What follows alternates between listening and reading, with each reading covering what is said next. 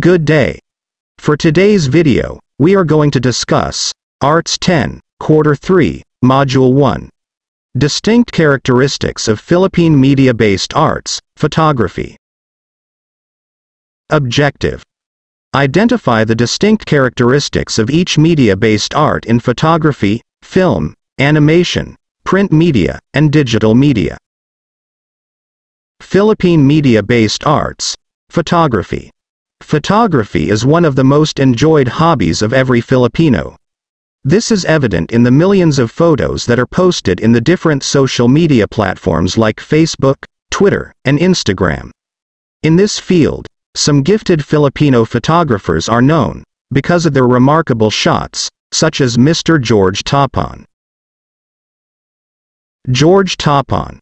He has won two Pacific Asia Tourism Association, PATA, Gold Awards, and the first place in the 2011 National Geographic Photo Contest.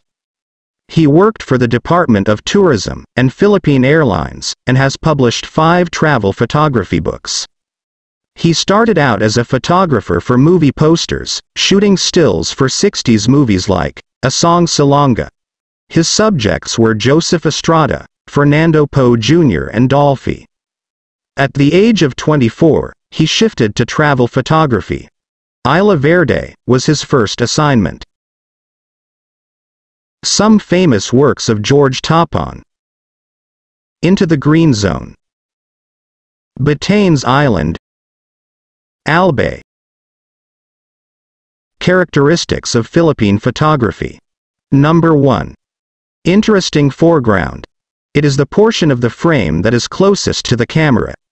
The foreground space in an image can be utilized to draw attention to a subject, located further into the frame, for example with leading lines, or it can be used to frame the subject. Let's dig further about foreground, middle ground, background. The foreground is the section closest to the camera. The background is the section farthest away. The middle ground falls somewhere between, connecting them.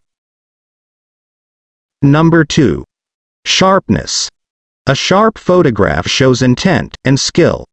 There are times that some parts of an image are blurry, are vague but can be enhanced with the use of neutral density filters. Number 3. Interesting perspective. Sometimes all photographs need to be interesting. In order to do this, there should be a change of perspective. A shot taken from a few inches from the ground or under the subject, something which is not usually seen, can produce great images. By changing perspective, subjects can appear much smaller, are larger than usual, lines converge differently, and much more. Different perspectives in photography. Perspective number 1. Photograph up, or down. Perspective number 2. Lie down and shoot from the ground level. Perspective number 3. Photograph through objects. Perspective number 4. Fill the frame. Perspective number 5. Place something in the foreground. Perspective number 6. Mirrors and reflections. Number 4. Good lighting. Not under or overexposed is too obvious. A photographer knows how to really work with light, which can help create some truly stunning images. Some rules are meant to be broken, and lighting is one of them. Some direction of light apply by the photographer. Letter A. Flat lighting. Light is behind the camera, providing a nice, even light across the groom's face. Letter B. Backlighting. It involves shooting into the light, your camera faces the window. Letter C. Split or side lighting. The light is coming from the left, which made the bride, the brightest part of the image. We're done with good lighting, now, let's have number 5. Symmetry.